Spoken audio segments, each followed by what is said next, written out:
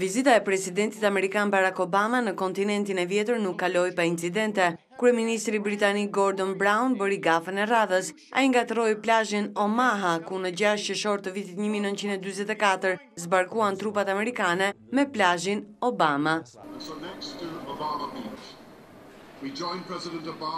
Gafa nuk hoqi vëmendjen e medias ndaj asaj që cilësohet si një ftohje e marrëdhënieve mes presidentit francez Nicolas Sarkozy dhe atij amerikan Barack Obama. Shkak besohet të jenë bërë fjalët që Sarkozy ka thënë pas shpinës së Obamës. Ai ka dy muaj që është zgjedhur në detyrë, por ndërkohë s'ka drejtuar asnjë ministri në gjithë jetën e tij. mësohet të ketë thënë Sarkozy. Në ceremoninë e gjashtëdhjetë e pesë vjetorit të zbarkimit të trupave aleate në Francë, çifti Obama i tha jo një ftese për një darkë të Nicolas dhe Carlës në një restorant luksoz në Paris.